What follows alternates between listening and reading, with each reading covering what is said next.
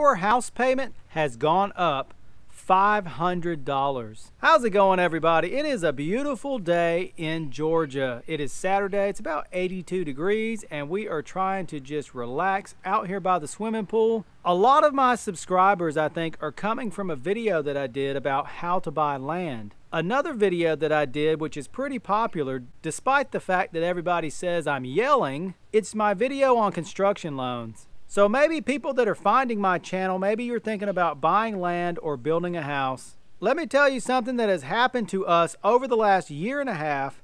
So if you're going to build a house or buy land and build a house, you can be better prepared.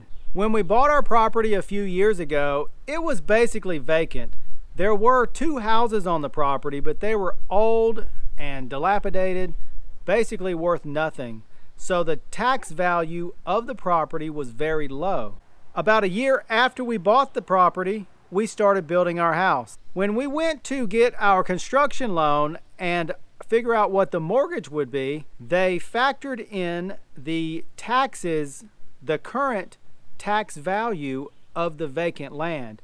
And that was a very low tax value. Well, now we've been in the house for a year and a half. The house has been built for a year and a half. And it just so worked out that the tax assessor has re-evaluated the property and the taxes are very high now. We don't have a very big house. It's three bed, two and a half bath, but the tax value going from basically nothing on the property to now a house, it went up dramatically. So that means our house payment over the last year and a half has gone up $500. And that's kind of a problem. I think that some of my subscribers are from other countries, so I'm not sure how you do it there. Here in the United States, usually when you pay your house payment, part of that payment also goes towards your property taxes and your homeowner's insurance. The mortgage company that you're paying the payment to, they have what is called an escrow account. It's basically a savings account, and the mortgage company will save part of your payment for your property taxes and your homeowner's insurance. Now, of course, you can pay those up front if you want to. They do not have to be part of your house payment. But as far as I know, everybody I know, we just pay one payment, uh, the mortgage, and then the mortgage company pays the property taxes and the homeowner's insurance. So when we got the construction loan, we kind of knew what we could afford and we were working with the construction loan lender and the mortgage lender and they factored in the construction cost and the taxes and everything and we figured out okay that's what we can afford. We can build this house and that's fine. Well i wasn't thinking about future tax value. So here it is a year and a half later the property tax has been re-evaluated and they sent us a bill for about $3,400. Our mortgage company this year, when they went to pay the new tax bill out of the escrow account, it went into the negative. There was not enough in that escrow or that savings account to pay for the taxes. So what they normally do, they will send you a bill, the homeowner, now you have a choice. You can pay that payment. You can just write them a check for $3,400 and your house payment will not change. We don't have that. We cannot make that payment. So what they do, they split up that money and add it to the next 12 payments of your house payment. Every time I try to make a video, this guy is flying his plane around. The next time I build a house or buy a house, I'm going to try to find one not near an airport. There is a neighborhood around here that it's like a fly-in neighborhood, and I'm assuming that's where that guy is coming from. He's got this small little plane.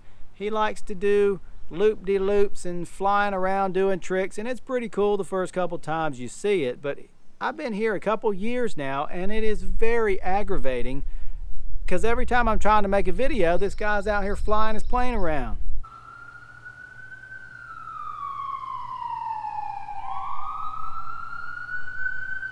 Okay. There we go.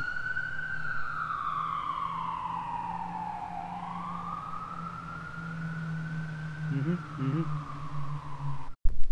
It is so hot sitting over there in the sun. I was sitting in the shade and then the sun has moved on me, so I had to move.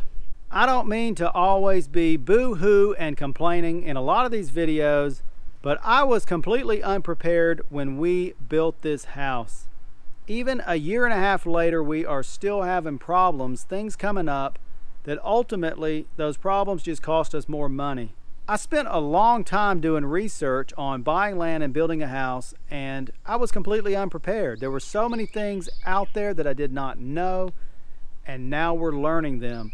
So if you're thinking about buying land or building a house, or you know someone that is, let them know about this problem.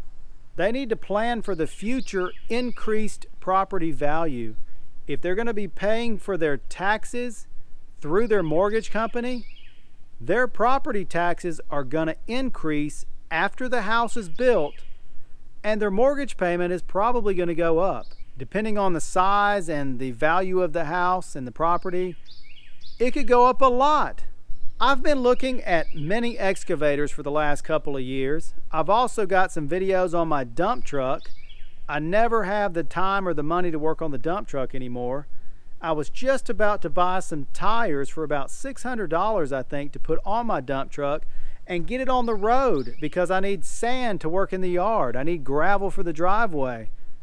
Well, now my house payment has gone up $500 a month. That is massive.